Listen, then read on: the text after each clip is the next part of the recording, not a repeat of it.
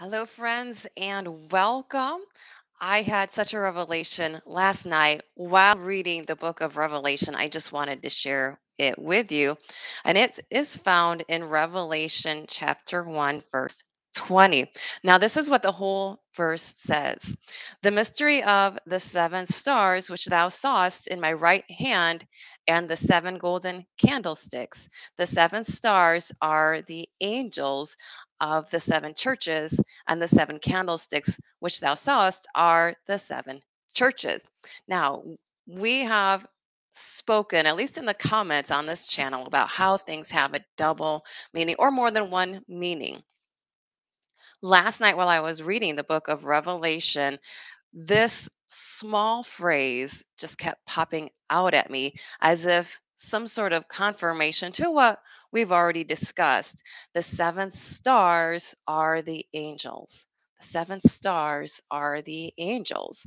And I started thinking about the seven planets of our solar system. They looked just like stars in the sky. The Star of Bethlehem was likely, well, many are saying the conjunction of Jupiter and Saturn. So I just felt very blessed last night when I came across that passage, that phrase, and I was excited to share it with you because um, it's just, to me, it was confirmation. And I know as we get closer and closer to October, we're almost there. People are starting to say, well, what if it doesn't happen? What if it doesn't happen?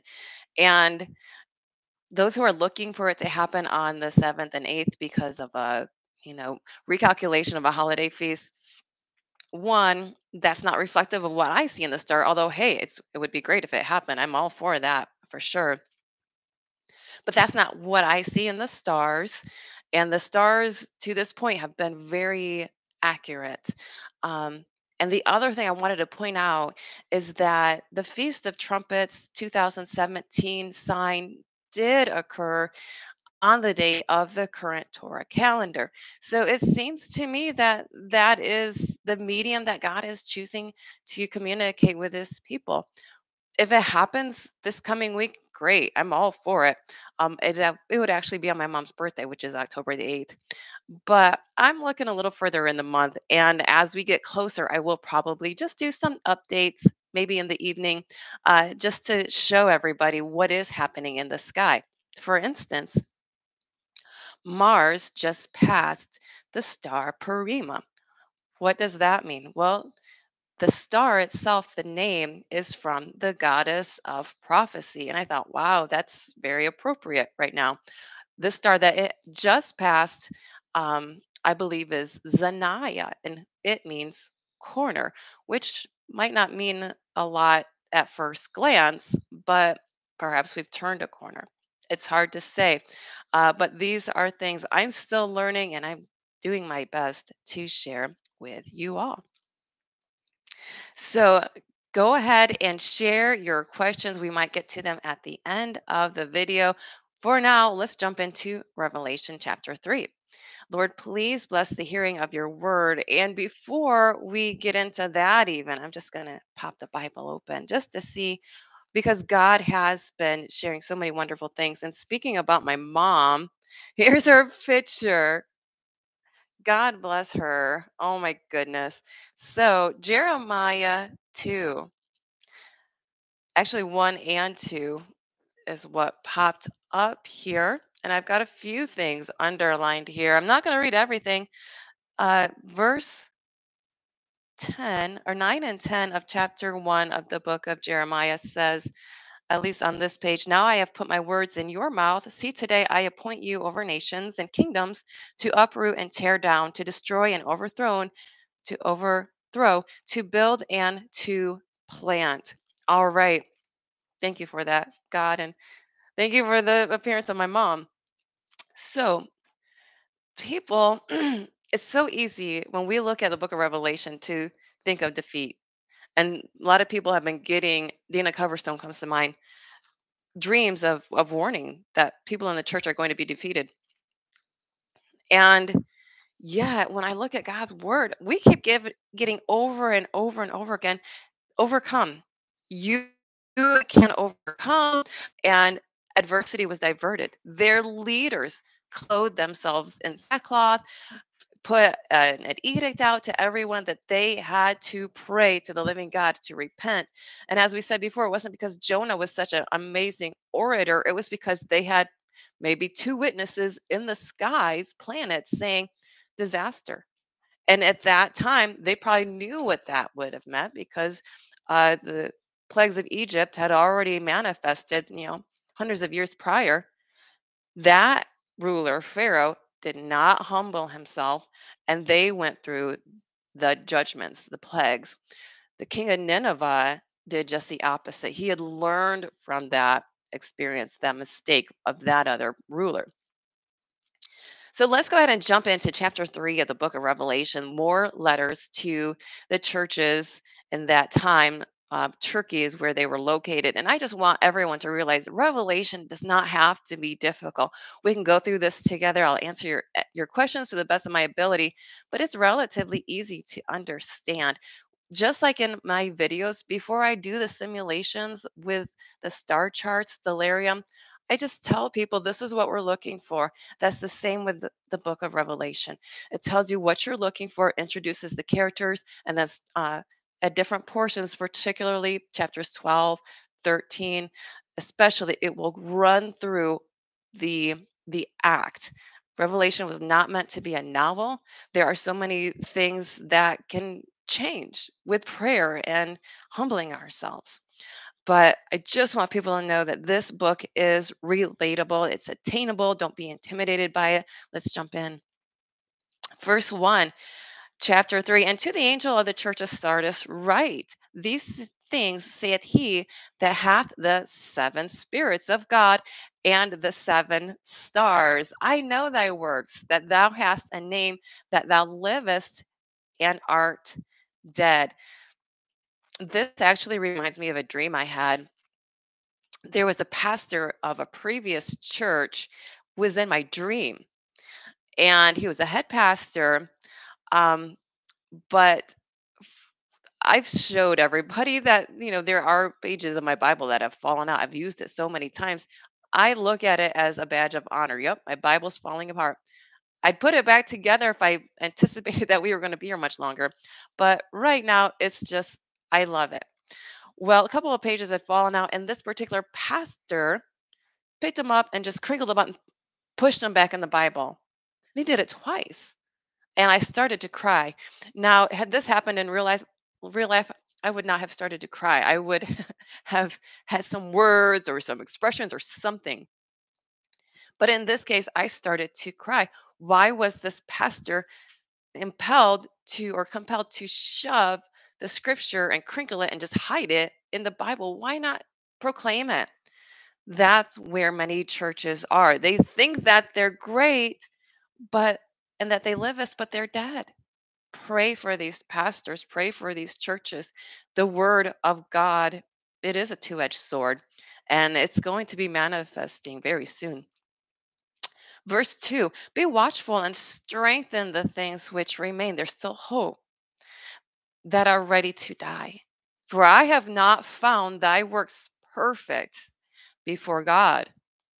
Remember therefore how thou hast received and heard, and hold fast and repent. If therefore thou shalt not watch, I will come on thee as a thief. Thou shalt not know what hour I will come upon thee. Thou hast a few names, even in Sardis, which have not defiled their garments, which likely is representation of the body, and they shall walk with me in white, for they are worthy. He that, oh, I love this word. I knew it was coming, and I just about said it. He that overcometh, the same shall be clothed in white raiment. Okay? You might not have been one of those who kept your garments from being defiled with the injection, with the mark, with whatever. That's okay. If you overcome with God's help, you shall be clothed in white raiment, just like everybody else. And we'll see this, I believe it's in chapter seven, that talks about the saints who wash their robes in the blood of the Lamb to make them white. And we've talked about this. I'll put this in the other Revelation playlist that has a more of an in-depth view than what we're doing. We're just reading through it and just commenting on whatever the Spirit reveals. And okay, so he that overcometh, the same shall be clothed in white raiment, and I will not blot out his name out of the book of life, but I will confess his name before my Father and before his angels. He that hath an ear, let him hear what the Spirit saith unto the churches. Pray for open ears, tender hearts. Pray for our pastors. Verse 7 And to the angel of the church of Philadelphia, right? These things saith he that is holy, he that is true, he that hath the key of David, he that openeth, and no man shutteth, and shutteth, and no man openeth. I know thy works. Behold, I have set before thee an open door, and no man, no vaccine, no mark, no false prophet, no antichrist can shut it. For thou hast little strength, and hast kept my word, and has not denied my name.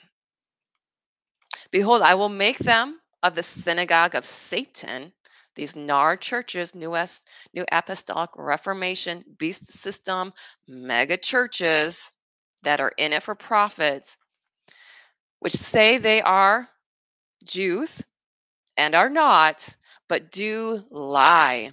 Behold, I will make them come and worship before thy feet, and to know I have loved thee. These saints who have not denied Christ's name, have not done anything to defile their garments, God's going to confess them before his Father. And his Father is going to reward them to the point that everybody's going to know that they love Jesus. And Jesus loved them. And they were working together. Didn't matter how much people made fun of them, they were in God's will. And that's going to be clear. So be encouraged, loved ones. That's some of us today. But tomorrow, when that time comes, everyone will know that you were with God and he was blessed by you. Verse 9 Behold, I will make them of the synagogue of Satan. I read that. Because thou hast kept the word of my patience, I also will keep thee from the hour of temptation, which shall come upon all the world to try them that dwell on the earth, just like a furnace, just like silver being refined. But if you resist the temptations to align yourself with these beast system churches, with the beast system government, with the beast system, I believe that this is saying you're going to escape that tribulation, the wrath of God. I should say, the wrath of God. Verse 11 Behold, I come quickly. Hold fast, which thou hast, that no man take thy crown. Do not look left or right. A lot of people, they think of this vaccine. It's just like the wave in the sea that tempted Peter. Oh, look at this. Oh, it's a wave. It's a vaccine. Blah, blah, blah. I got a comment. You're not focused on the vaccine enough. Of course, I'm not. Peter should not have focused on the wave. Just look to Jesus. Just look to Jesus. There's nothing new under the sun. So, Nineveh, they they had just as much DNA corruption, if not more, probably more, than is present today. So, um, just keep your focus on God. We reflect what we expose ourselves to. Just keep your focus on God. Okay, one one moment.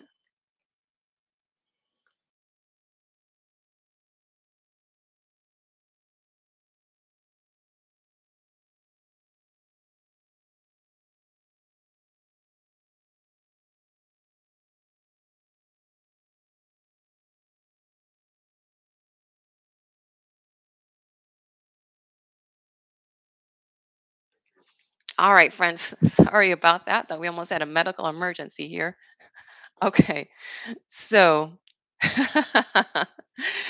um, him that overcometh, verse 12, will I make a pillar in the temple of my God, and he shall go no more out. And I will write upon him the name of my God. They're going to be sealed. And the name of the city of my God. They've got their address on there too, which is New Jerusalem, which cometh down out of heaven from my God, and I will write upon him my new name. He that hath an ear, let him hear what the Spirit saith unto the churches.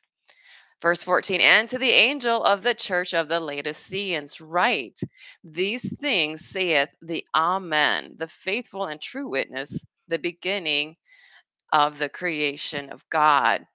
I know thy works, that thou art neither cold nor hot.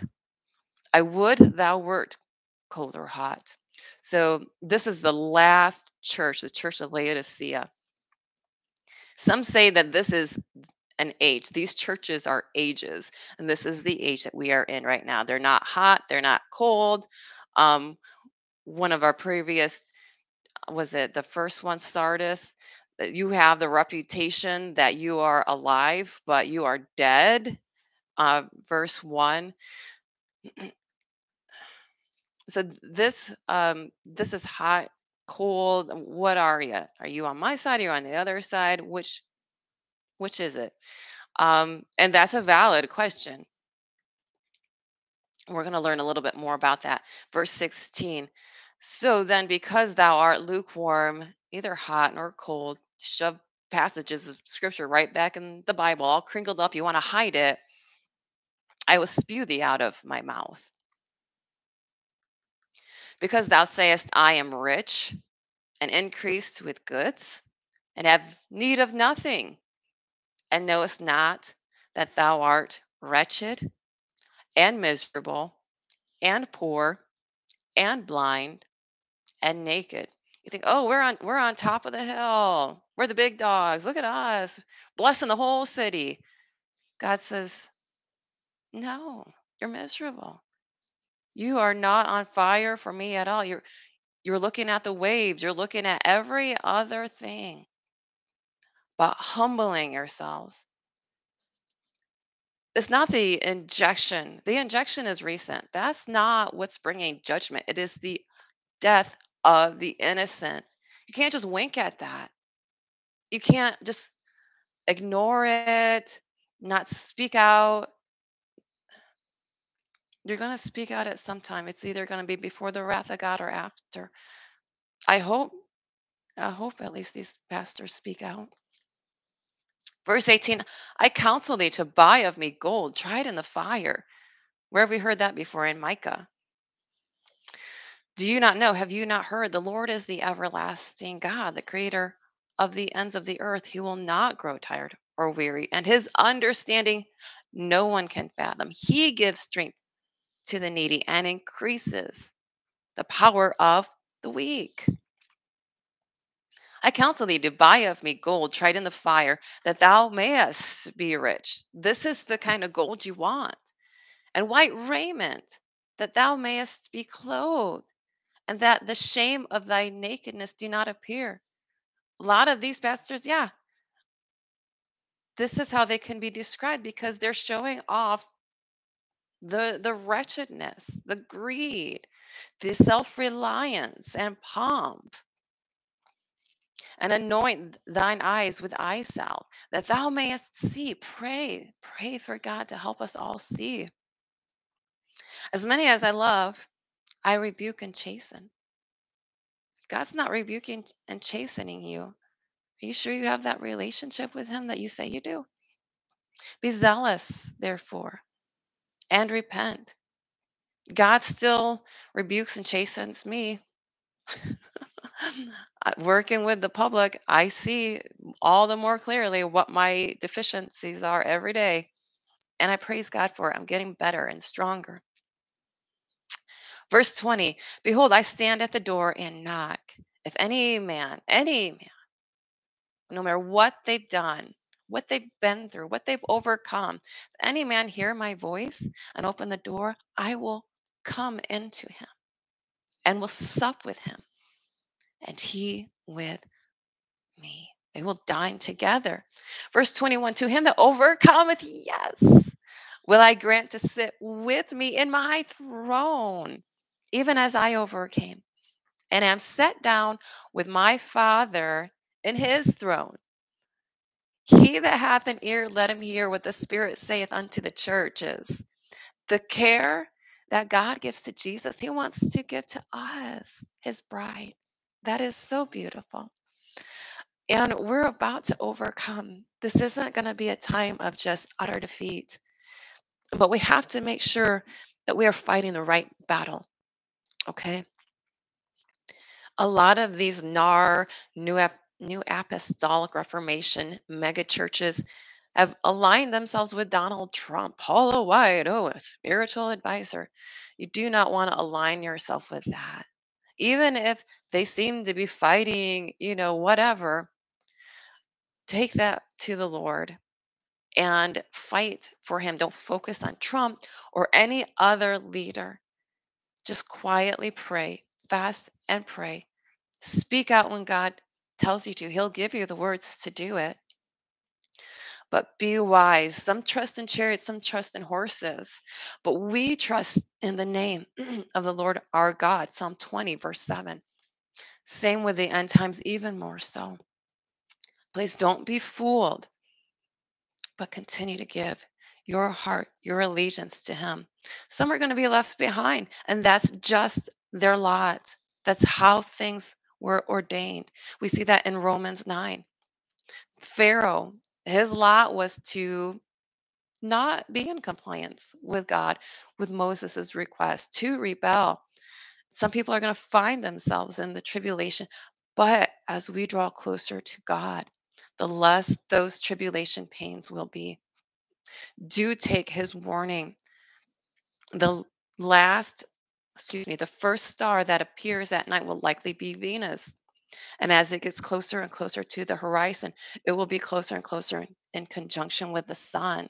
That's going to be in early January. And what that means is that the fifth seal is about to be released. That angel is going into the sun, it's going to be strengthened, and that judgment will be uh, unsealed. If you can make it to Texas, make it to Texas. Many are getting the word that that's going to be a safe place. Have oil and flour.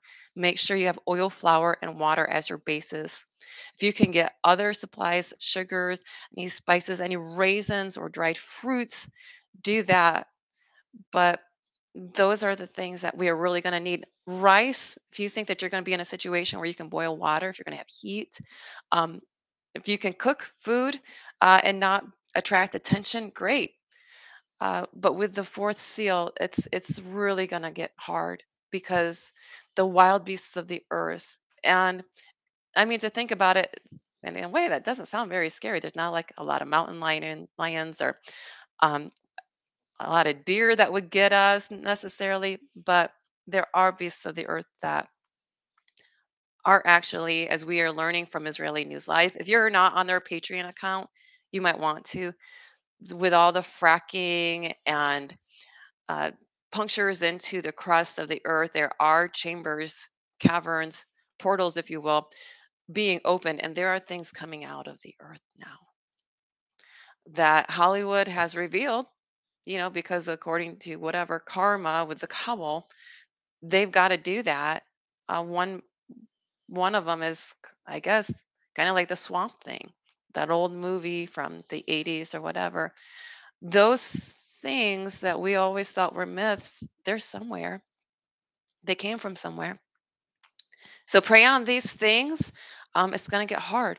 You know, we've got another alien disclosure, and I guess next year, it's going to be bad. It's going to be more and more sinister. We can't prepare for the tribulation, but we can, at least not fully, but we can dig ourselves closer and closer to God and follow the direction that He gives us. Let's go ahead and open the Bible.